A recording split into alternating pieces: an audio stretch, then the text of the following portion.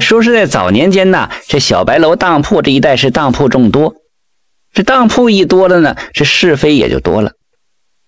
在这小白楼附近呢，有这么一户人家，这主家姓李，在大公报报馆里当差，家里雇了个丫头叫金翠，那是聪明又机灵啊。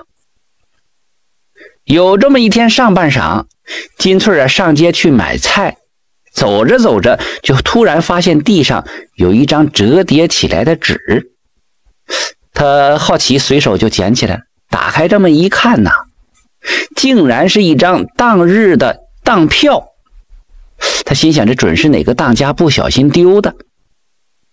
金翠在家那是上过半年私塾的人呐。所以他认得这当票是通源当铺出的，上面写着这当物是一件虫吃鼠咬、光板无毛、破面烂里的棉袄，这当金呢是四块大洋，活当。金翠看了之后，那心里是一阵惊喜呀。他听这李先生讲过。你就是再好的东西，到了当铺里呀，都会变成什么破洞啊、烂边啊、什么断丝的破烂一件破棉袄能当四块钱，那肯定是上好的绸缎棉袄。这要是赎回来，再卖给姑姨街呢，什么姑姨铺子，这一准啊，能赚个快八毛的。还有啊，当天的东西当天就赎回来，这当铺啊，他不收任何的利钱。所以回去之后啊，金翠啊就借口说呀，家里面急用钱，向李先生啊提前预支了两个月的工钱，揣着大洋和当票来到这通源当铺，说要赎当。这当铺里啊，这个老先生啊是一个六十多岁的老头，戴着一副老花镜，他眯着眼睛看完这当票，面无表情。呃，四块当本，金翠连忙就把钱递了上去。不一会儿的功夫啊，这个朝凤啊就把这一个半新不旧的包袱递出来了。哈哈，好走不送哈。那金翠是倍儿高兴啊，转身就离开了当铺了，来到了一个僻静处，迫不及待打开这包袱，一下子就傻了眼了。那包袱里是啥呀？这包袱里啊是一件破破烂烂的袄子，连半块钱都不值。哎，可怎么会这样呢？这金翠就后悔了，又回到这通源当铺，把这包袱往窗口一塞，气呼呼的：“掌柜的，这不是我那棉袄，你把我那四块钱还给我。”那朝凤探头瞄了一眼金翠儿，姑娘啊。那你说说，你的棉袄是麻面啊，麻里子呀？凭嘛说这这这棉袄不是你的呀？啊！金翠啊，一下子就被问住了。那朝凤把这包袱往外一推，哈哈哈，对不住了哈，咱们已经是财物两清啊，您呐，请回吧。金翠就没了辙了，很不乐意把这包袱抓起来，走出这当铺门，那眼里的泪呀。忍不住就噗噗的往下落了。回家的路上啊，金翠见路边有个乞丐，十分可怜，顺手就把这破棉袄就给他了。过后这一连几天呢，金翠心里一直在琢磨呢。哎，如果这当家当的是那件破棉袄，那朝凤就是再傻，那也不会给四块钱的当本啊。这到底是怎么回事呢？实在是想不通啊。金翠就只得把捡到当票的事情给李先生讲了一遍，请他呀帮自个儿想个辙，把那两个月的工钱要回来。李先生听了之后长叹了一口气：“嗨，你呀你呀，你是上了通源当铺做的局了。我听报馆里的人说起过，有些人到当铺当完东西之后啊。”知道自个儿没能耐赎，干脆啊连当票也不要了，拿着钱就走了。这当铺啊之后啊就琢磨出了一个损招来，来故意把这当票丢到大街上，有人捡着之后，他发现有利可图了，就拿着当票和钱来赎当。当铺趁机给这人啊一件破烂玩意儿，这两头通吃啊！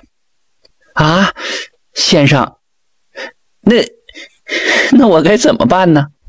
嗨，没辙，你呀认倒霉吧。金翠一听，这心里就甭提有多后悔了。过了几天，李先生下班回家了，忽然对金翠说了：“啊，金翠啊，我呢找了一个高人，想了一个高招，到时候啊，咱们找机会把你那个钱给找补回来。”金翠一听，那喜出望外呀，连声说谢谢。后来有这么一天晚上，李先生把这金翠叫进了书房，拿出了一个黑匣子。呃，明天晌午一点钟，你把这匣子里的东西拿到通源当铺当了啊啊！先生，那这这这里面是是嘛东西啊？当当当多少钱呢？哦，是一件白玉弥勒佛像，哎，最少能当两百大洋。记住啊，一定要晌午去哈。转天晌午，金翠是掐着钟点就到了通源当铺了。那朝凤正在柜台后面打盹呢。金翠把这匣子一递：“掌柜的，这玉佛你们收吗？”这一声就把这朝凤给惊醒了。他忙戴上这老花镜，打开这匣子，迷迷瞪瞪瞧了瞧这白玉的弥勒佛像。啊，那想当多少钱呢？哦，三百块大洋，一百五十块，行就留下。哦，二百块吧，不行我就上别家看看去。这朝凤琢磨了一下子，那死当还是活当啊？哦，呃，活当，呃，三个月之后我赎回。朝凤就冲着票台软塌塌喊了当了，出票。瑕疵玉石弥勒佛像一尊，当本二百块，三月期限，月利二分。然后金翠拿到当票和大洋啊，回去之后就交给了李先生。时间过得快呀，这一转眼三个月的期限就到了。李先生拿出了那张当票，交给金翠了。金翠啊，你去把那尊弥勒佛像给赎回来。金翠接到当票之后，见李先生拿起报纸来了。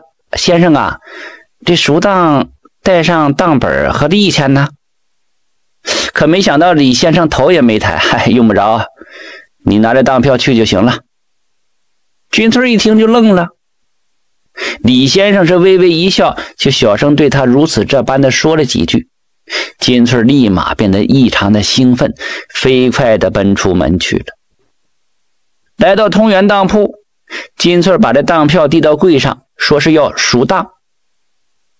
这朝凤瞅了几眼当票，让那小伙计取来了黑匣子。哦，当本两百，外加仨月的利钱，总共是两百一十八块钱。这这我还没验东西呢。金翠踮着脚尖把这匣子抱下来，打开一瞧，哎，我说掌柜的呀！我当初当给你的白玉佛像可是好端端的，这怎么变成这样了呢？你们是怎么保管的呀？啊！朝风愣了一下子，接过这匣子这么一瞧啊，发现这佛像啊确实是有些不对劲儿，但还是指着当票：“哎，你瞧仔细了啊，当票上白纸黑字写的清清楚楚啊，瑕疵玉石弥勒佛像一尊。”知道嘛叫瑕疵吗？这就是瑕疵啊！金翠听了之后，那气不打一处来呀！你甭跟我这一块玩着弯弯绕，这佛像一准被你们给调了包了。